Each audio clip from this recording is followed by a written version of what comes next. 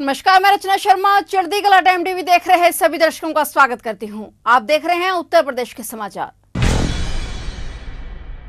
उत्तर प्रदेश के मुख्यमंत्री योगी आदित्यनाथ ने आज सोमवार को यूपी अधीनस्थ सेवा चयन आयोग द्वारा चयनित अल्पसंख्यक कल्याण एवं वक्फ विभाग के 100 कनिष्क सहायकों और प्राविधिक शिक्षा विभाग के 140 कनिष्क सहायकों, कंप्यूटर ऑपरेटरों को नियुक्ति पत्र सौंपे। इस मौके पर सीएम योगी ने कहा कि आज प्रदेश में पारदर्शिता के साथ नौकरी मिल रही है। किसी के साथ भेदभाव नहीं किया जा रहा है पहले नियुक्ति में कई साल लग जाते थे। आज मेरिट के आधार पर सिलेक्शन हो रहा है। अब प्रदेश में पारदर्शी और निष्पक्ष तरीके से सरकारी नौकरियों में भर्ती होती है। मुख्यमंत्री योगी ने कहा कि पहले नेताओं और अफसरों के रिश्तेदारों को नौकरी मिलती थी। अब किसी से भी जाति और मज़हब के आधार पर भेदभाव नहीं होता है। भर्ती योग्यता के आधार पर होती है। उन्होंने कहा कि अब प्रदेश में नौकरी रोज़गार में कहीं भी भ्रष्टाचार नहीं है। उन्होंने नियुक्ति पत्र पाने वाले युवाओं से कहा कि अब आप सभी को ईमानदारी से नौकरी करना है। बीते छह वर्षों में प्रदेश की छवि बदली है। प्रदेश में कानून का राज है। यूपी में पूरे देश को सुरक्षा का मॉडल दिया गया है। अब यूपी में कोई भी फ़ाइल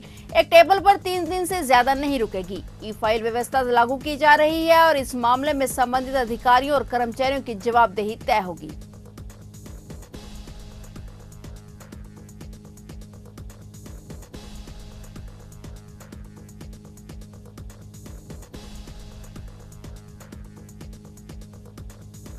एक पारदर्शी व्यवस्था के अंतर्गत आज यहाँ पर नियुक्ति पत्र प्राप्त करने वाले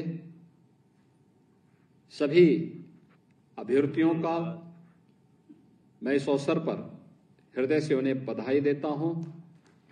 प्रदेश सरकार का पार्ट बनने के लिए हृदय से अभिनंदन करता हूँ और आपके अभिभावकों को भी मैं हृदय से बधाई और शुभकामनाएँ देता हूँ।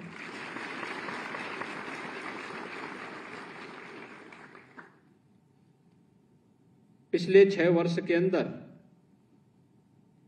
प्रधानमंत्री मोदी जी के मार्गदर्शन में जीवन के प्रत्येक क्षेत्र में उत्तर प्रदेश ने एक नई ऊंचाइयाँ प्राप्त की हैं। वो हम सबके सामने है। और ये आप सभी युवाओं के लिए एक नया अवसर है।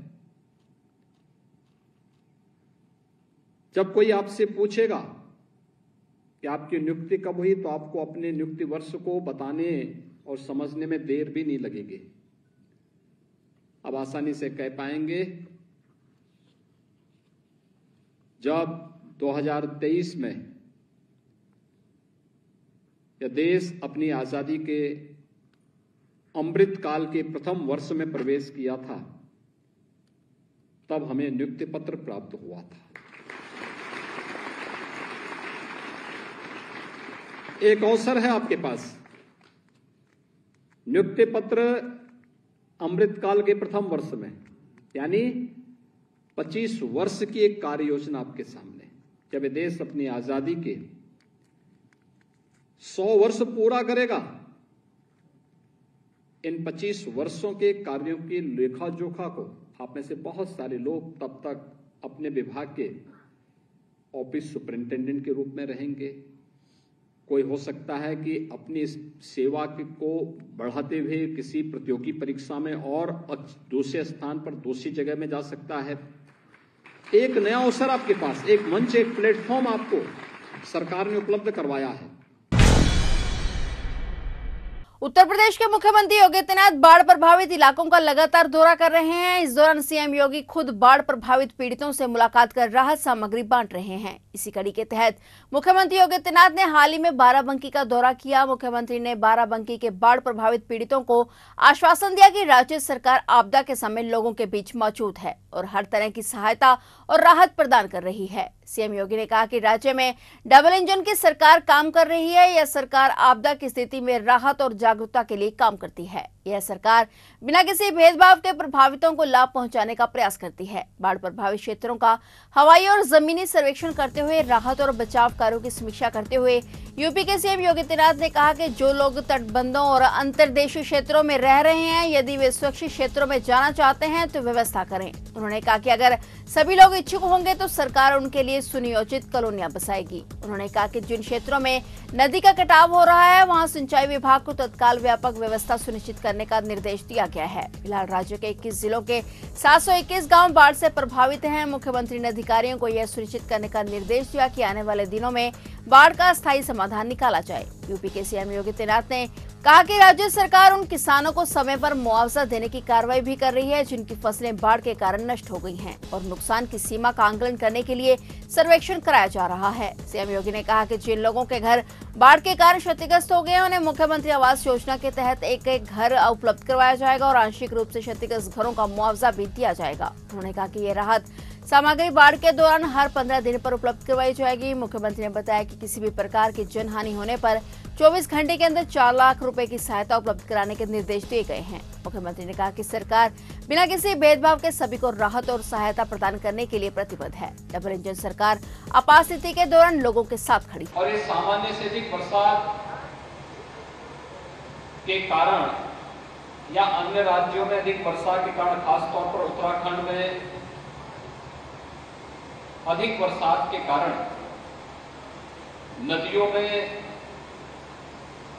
कई स्थानों पर जल खतरे के निशान से ऊपर बह रहा है। प्रदेश के वर्तमान में 21 जनपदों के 721 गाँव ऐसे हैं जो बाढ़ से प्रभावित हैं। उनमें से बाराबंकी के भी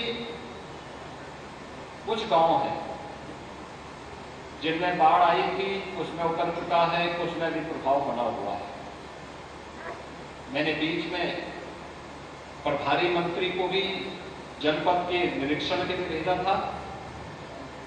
आज भाइयों बहनों, रक्षाबंधन का अवसर है तो इस अवसर पर मैंने कहा, मैं भी बाराबंकी जनपद का सर्वेक्षण करूँ, मैं भी सर्वेक्षण करके आया हूँ।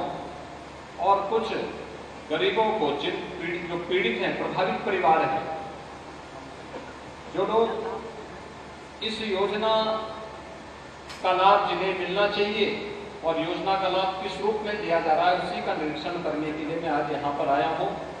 यद्यपि कार्यक्रम दूसरी जगह में था, लेकिन मुझे लगता है कि इस वर्ष मैं बाबा लोधेश्वर नाथ जी का दर्शन नहीं कर पाया था और बाबा की रात को ऐसी कृपा हुई कि मुझे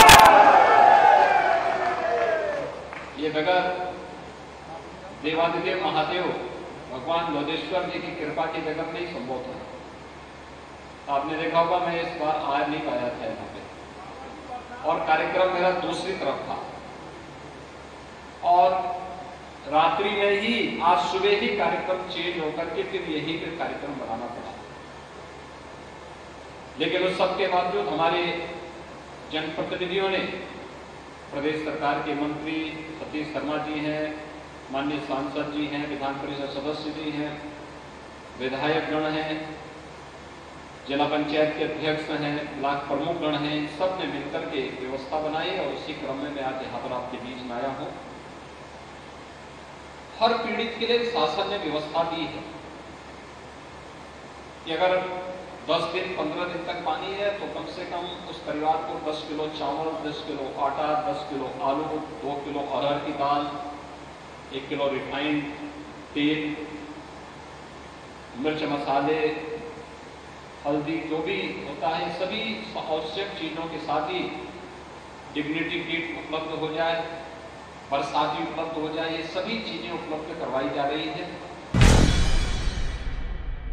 उन्नीस सौ छियासी के बाद उत्तर प्रदेश ने विकास के मामले में अंधकार का एक लंबा दौर देखा है। यूपी के बारे में देश और दुनिया की धारणा प्रदेश बहुत अलग हो गया है। सीएम योगी ने कहा कि यहाँ युवाओं, व्यापारियों और नागरिकों के सामने पहचान का संकट था, लेकिन आज प्रधानमंत्री नरेंद्र मोदी के मार्गदर्शन और नेतृत्व में उत्तर प्रदेश अंधेरे से बाहर निकलने में कामयाब हुआ है। वहीं सीएम ने कहा कि अब उत्तर प्रदेश देश की छठी नहीं, बल्कि बहुत शीघ्र दूसरी बड़ी अर्थव्यवस्था के रूप में देश के सामने होगा। सीएम ने कहा कि उत्तर प्रदेश के अंदर ऑर्गेनाइज्ड क्राइम आज एकदम ज़ीरो है। उत्तर प्रदेश एक रेवेन्यू सरप्लस प्रदेश है और इसके अलावा सीएम ने जानकारी दी कि बुंदेलखंड एक्सप्रेसवे से जुड़ चुका है। वहाँ पर एयरपोर्ट का निर्माण भी अंतिम चरणों में चल रहा है। सीएम ने कहा कि आज प्रधानमंत्री नरेंद्र मोदी के मार्गदर्शन और नेतृत्व में उत्तर प्रदेश अंधेरे से उबर के एक बीमारू राज्य से एक विकसित राज्य बनने में कामयाब रहा है।